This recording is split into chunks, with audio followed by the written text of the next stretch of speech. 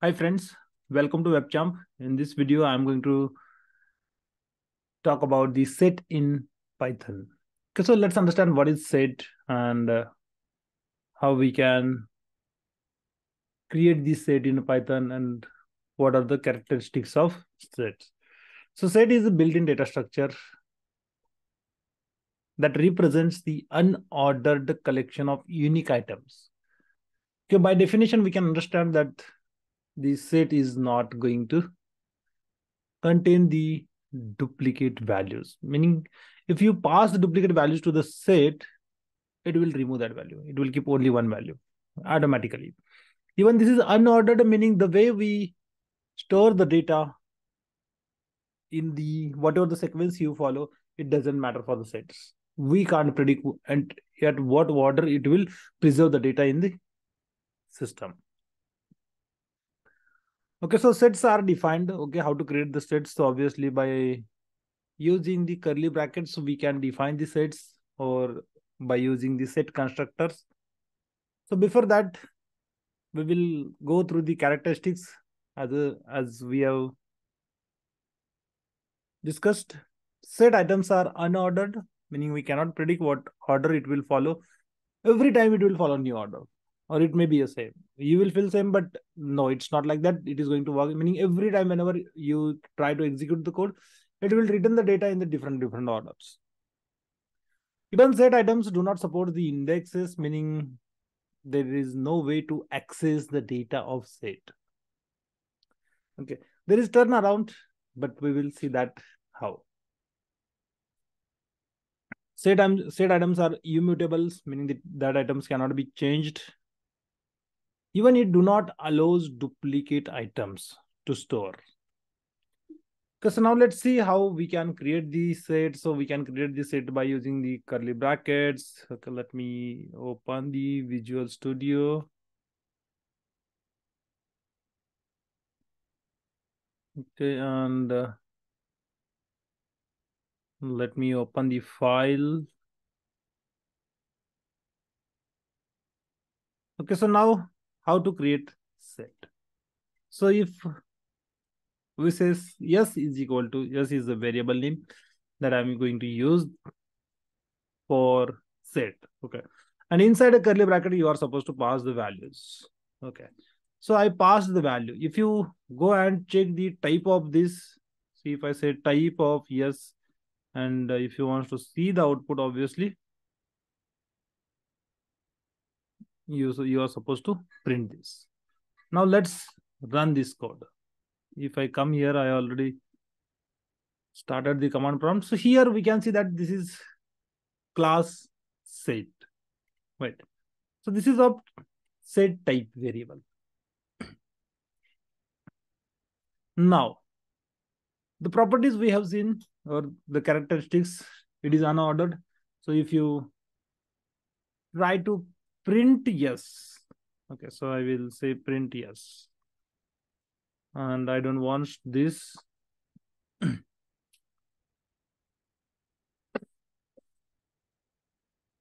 Okay. I will add few more items to this. Six seven eight nine ten and 4 okay this is what the sequence i am going to follow Now, if I go and if I simply execute the code, you can see that it is in a, in this order. So now four is coming at the fourth place. Okay. And uh, it is at last place, the way we have created sets. Okay. So order, meaning this is unordered. It, it will not follow the order which we use to create the set. Okay.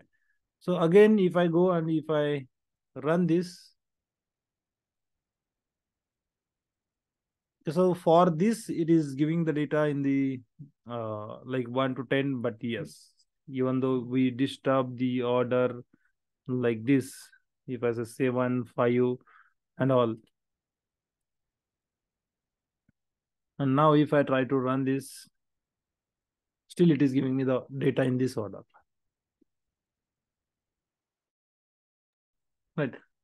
So whatever the sequence? We follow to store the data. That is not followed by the sets. That's why we say this is unordered. Set items are not indexed.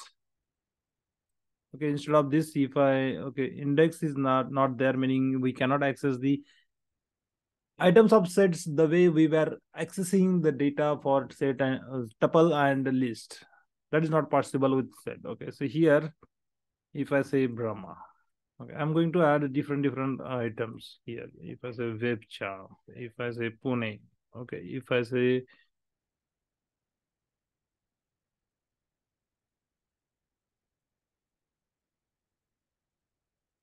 if I say Maharashtra, if I say YouTube, any any kind of okay data, I would be fine for me. And now, if I run this, you can see that even though I used YouTube at last position, it is returning at this place. Then WebChamp, Pune, Maharashtra, Brahma, the sequence which I follow is different okay? So it is returning WebChamp then pune then maharashtra. So it, it meaning this is unordered. This is completely unordered collection it do not support indexes meaning if you try to access the data by index okay? And uh, if i try to run this even you can see that set object is not subscriptable meaning there is no way to access the items of sets using index okay? Then how to access the items of index? Even okay one more thing i would like to show you that if you try to store the duplicate data in the sets okay i'm going to say youtube two times. I'm going to say webchamp two times. Okay. You will get the unique items only, not the duplicate ones. Here you can see that webchamp is coming only once, YouTube is coming only once, but in my dataset, whatever the uh, dataset I use, so to remove the duplicates, we can use the sets. Okay, if you have a list of data and uh, if you want to remove the duplicate from that, so very easily, if you pass the list to this set, or if you convert the list to the set, it will remove the duplicate data and then return the data with unique values right so now how to create set. So we have seen one way is that using the curly brackets. Another way is there is constructor called set constructor. So you can use the set constructor also. If you are using set constructor you don't need to use the curly brackets. Okay even this is also a type of set. And if i run this you can see that again that is behaving in the same way the way we have created the set using curly brackets removing duplicates and all. Okay. So now how to access the question remains same how to access the data. If it is not indexed then how to access the data of set so there is no way to access the data access the elements of set but if you want to check if is there any item is exist in the set or not in that case you can use the loop. Okay to access this meaning loops are applicable. Okay you can simply loop for i in yes. Okay i is not a standard variable. Okay i just it can be anything. I'm using i for every time but this is what my habit. You can use abcd your name and whatever So here you can say that it, it is able to loop through that. And if you want to check for the any specific item, what you can do, you can go and you can check whether this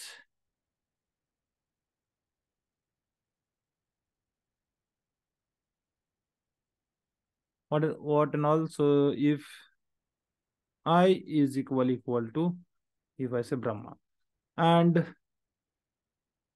I will say yes. Okay so like this i created a logic. Okay what what does this mean? Okay i will i will go to the each item of sets. Then here we will check whether any loop returns yes or no. Okay so if the value is equal to brahma somewhere in this set so this will become true. And if this is true this is going to print yes. Otherwise it will not print one okay so initially i will say brahma one. Okay. And if i run this you will see it is not going to return anything. It's blank. Meaning the output is not there. Okay. Why? Because there is no match. So like this you can use the logic to check the data whether any specific values exist any specific item is exist in the set or not. That is what the only way to access the items of set. Then even though this is Im immutable but still you can add new items and remove the items from the set. Okay this is how the, this data structure is created in the python. Okay so if you want to add something to the set you need to use the add method or you can use update. If you want to add single item you are supposed to use the add. Okay so let me say I would like to add something to this set. So if I say s dot add, and here if I am going to pass the single value as a Python. Okay. So add method is useful when you have to add a single value. If I say yes, yes dot add, and if I say print yes, so you will see that this is going to return the set with Python, right?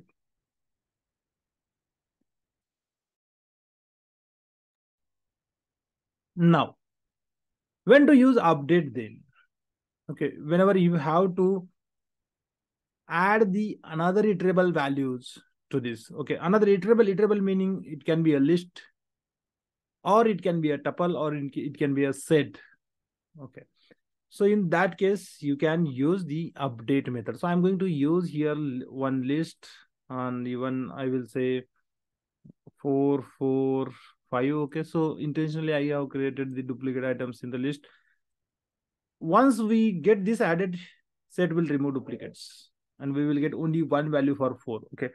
Now you cannot use this add method here. Right.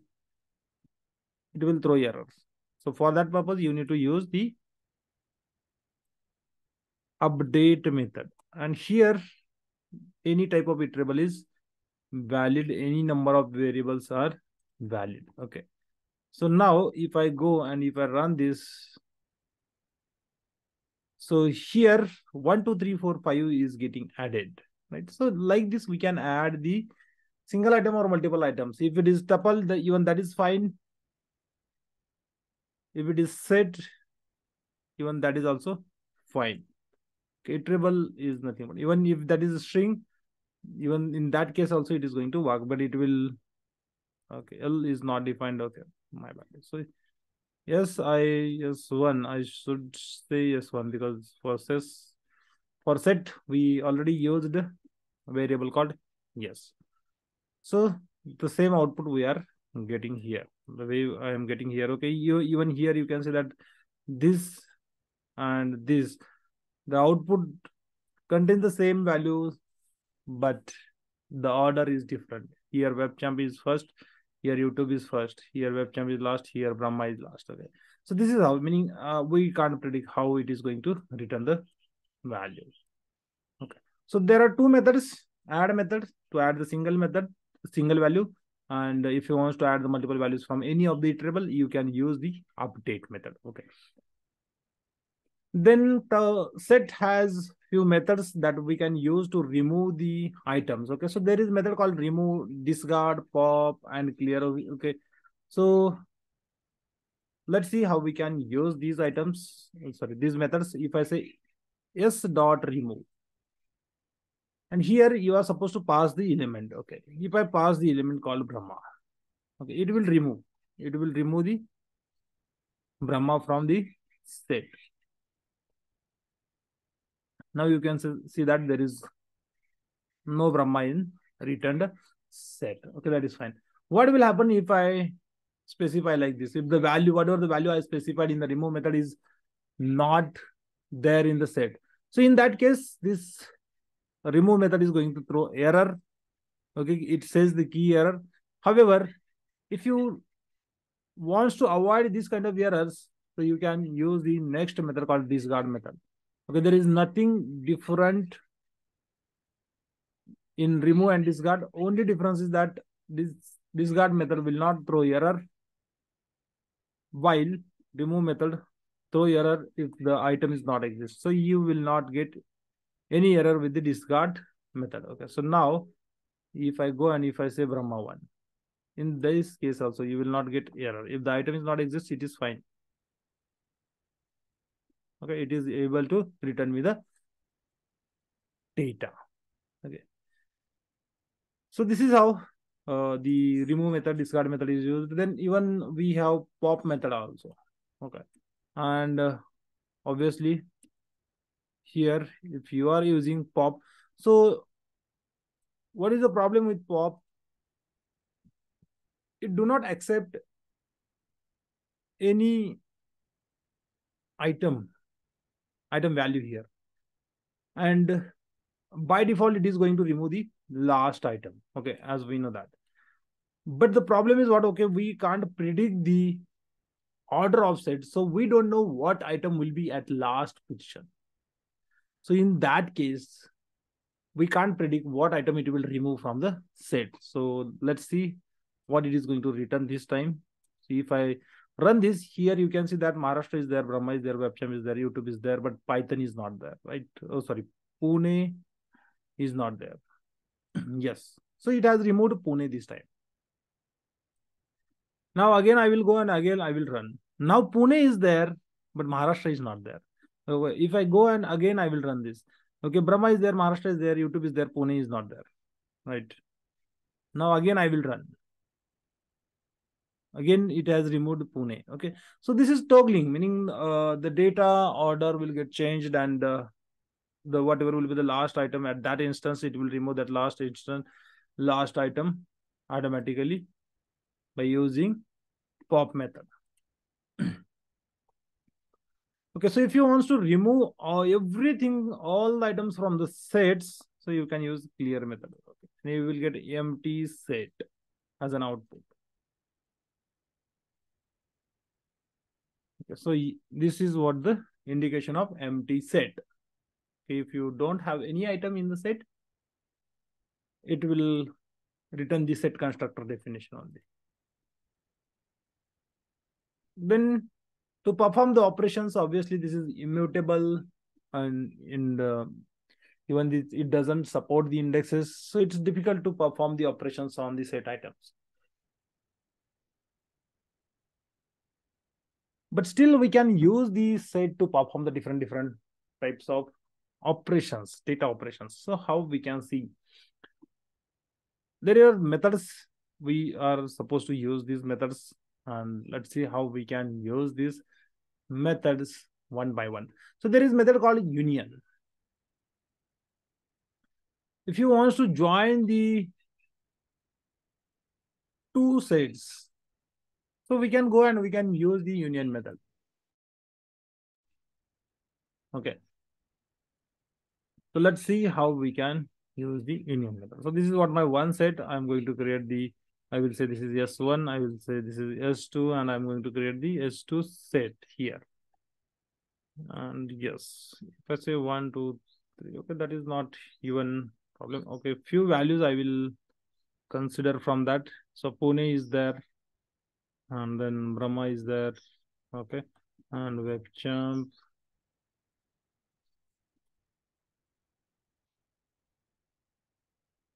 Okay, WebChamp is there then I will say any person name like Aditya, then Shuraj. Okay. So I have a data in this way.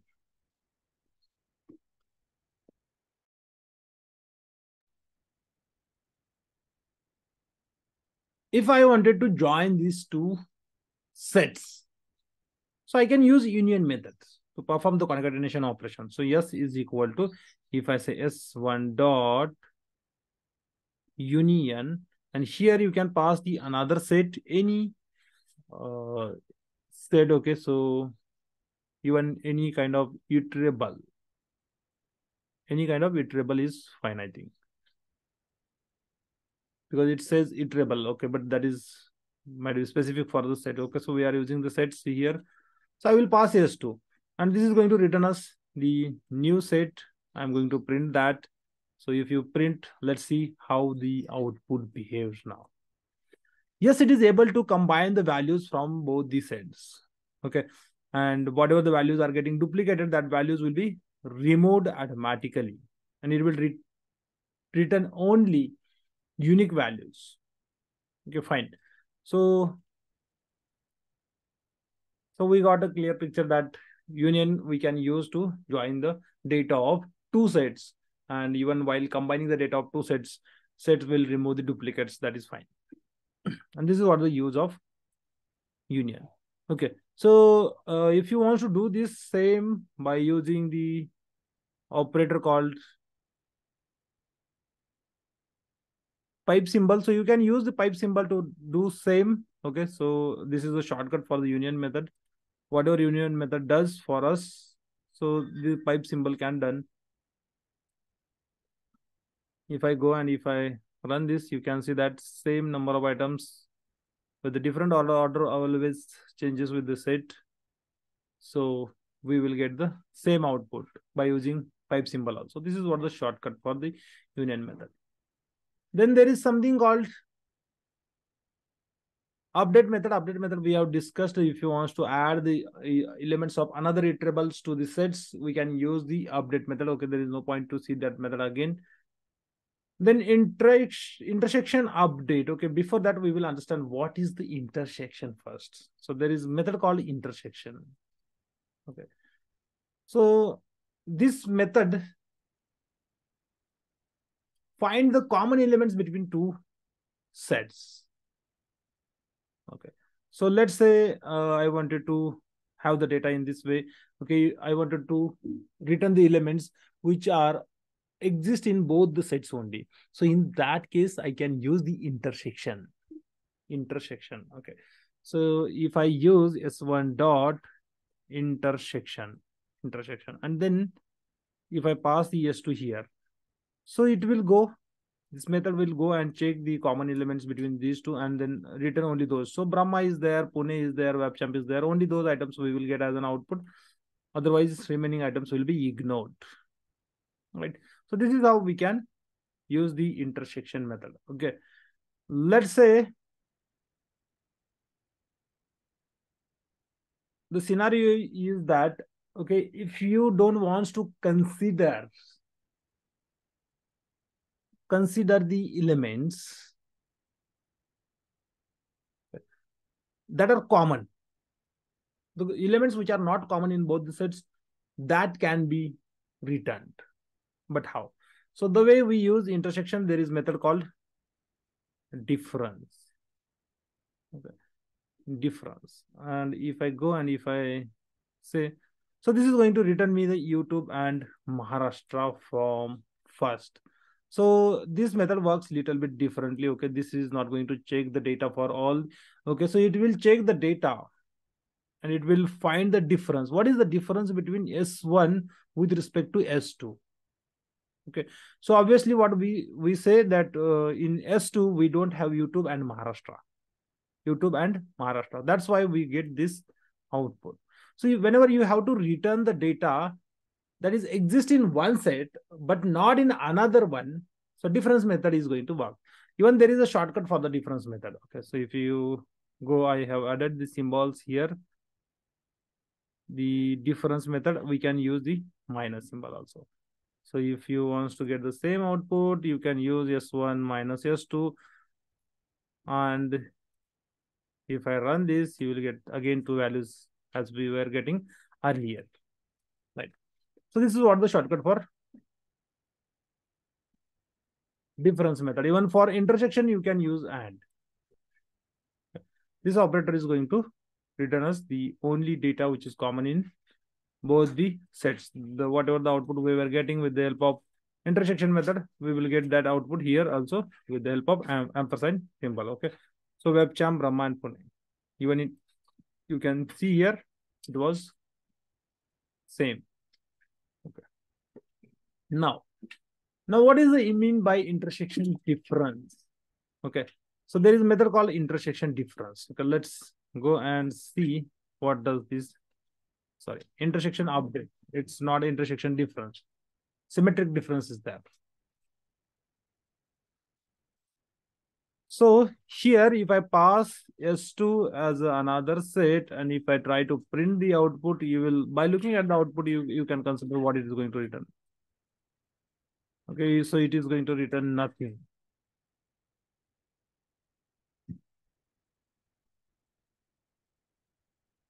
Okay, so this method will keep only the items that are present in both these sets.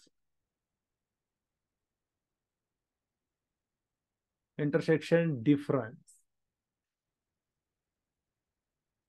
Again, I'm going intersection update.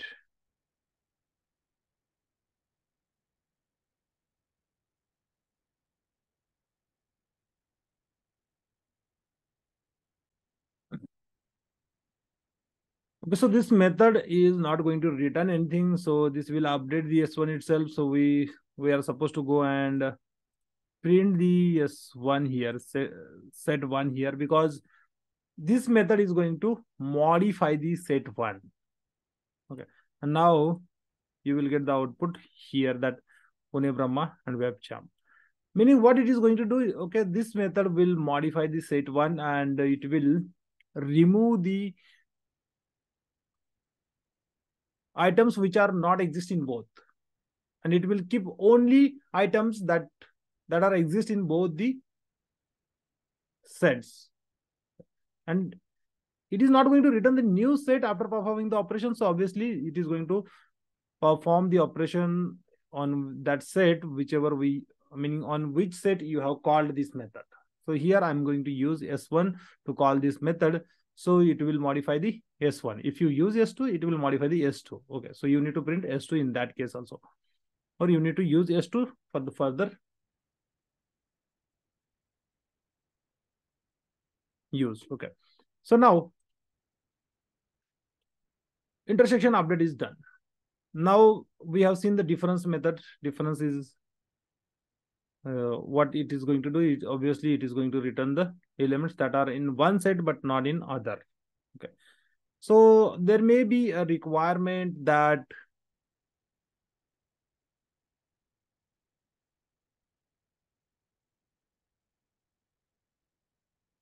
you may want to return the elements that are in either of the set but not in both. Okay. So meaning any items that are exist in only S1 or only S2, if you want that kind of data, we can use the symmetric difference method. Okay. So if I go and if I say symmetric, symmetric difference, okay. So here, let's see if we use this only symmetric difference. So this is going to return us the new set. That's why we can store that value somewhere into another set and then we can return the value. But if we go and we use the symmetric difference update method, so update is going to update the existing set. Okay. Now if I go and if I run this, so you can see that Aditya Maharashtra, Shivraj and YouTube, all these four values are not exist in both the sets. Okay. So symmetric difference is nothing but find out the unique values or not common values between those two, two or more sets, whatever the sets we will use here. If you want to use the symmetric difference update, you can use symmetric difference update also. But the difference is that it, again, it is going to return none. And then you need to print the S1 here. then you will see the same output. This is how these methods are going to work.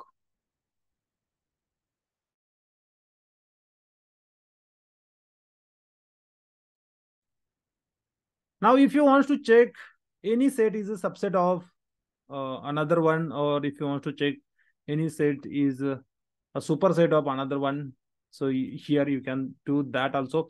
So I will remove this and uh, Okay.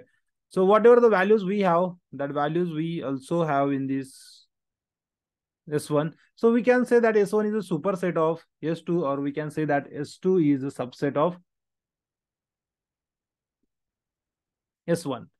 So now we will go and we will check if S1 dot S1 is a superset, obviously is a superset of S2.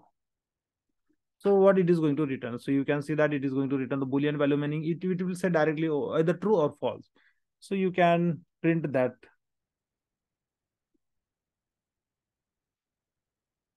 here also. Even you can store that boolean value somewhere in the another variable and then you can print. But instead of that, I would prefer to do this.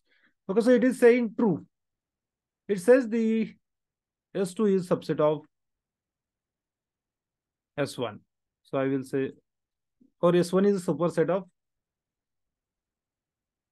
S2. So now I will say Aditya here. I will add the one parameter. And now let's say what it says. So it says false. That is not possible. Okay. So since uh, when we have a one item that is not existing S1, so it will not be a subset. Okay.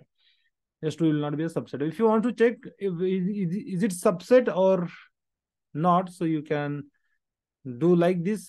S2 is a subset of S1. Is it true or false? You can check with that so it is saying true. Yes, it is a subset of S1. So this is how we can perform the operation, different operations to remove the duplicate data, to keep the uh, value, specific values from bo uh, both of these sets. Okay, so these many methods are there to perform the operations. Some common operations on the set, and we may need to do this in the data operation. So this is very helpful to keep something, to remove something as per the requirement. But yes, Again, this is very much helpful in case of data, data operations. Yeah, I hope you like the content of this video. Thank you so much for watching the video. Have a nice day. Please do not forget to subscribe the WebChamp and do not forget to share the video with your friends.